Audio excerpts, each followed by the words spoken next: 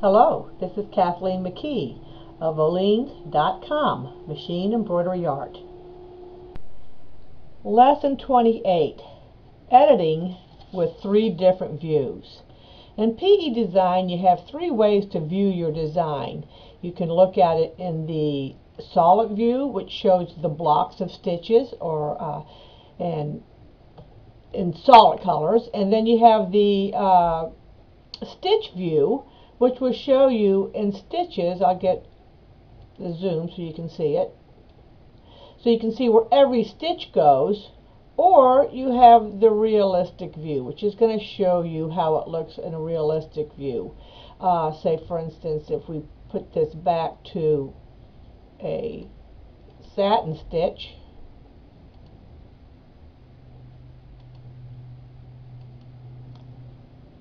it'll change it to a satin stitch.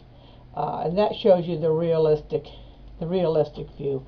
Now, this is a real good way to check before you waste your time on your machine. Let's see if we like the way it looks in the realistic view, and I don't see any errors. Uh, let's see what it looks like in the uh, stitch view, and that seems to be okay also, except that I might want to go to sewing attributes let me select it first. Might want to go into sewing attributes and maybe put an understitching under it. We'll give it this one here.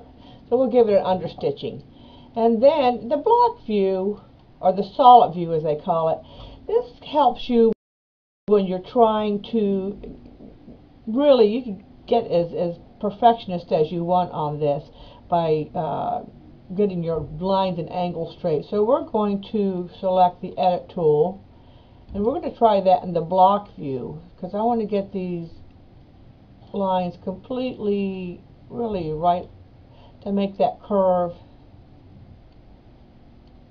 So you can move them around the block view and I find that very helpful sometimes in uh, editing. Also I can see that maybe the stitches look too thick here and too thin there so let's check on that one.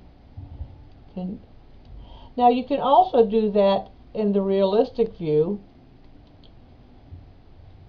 and uh, it will help you uh, check all your edit points where you think it's not looking quite right. So there's three different views.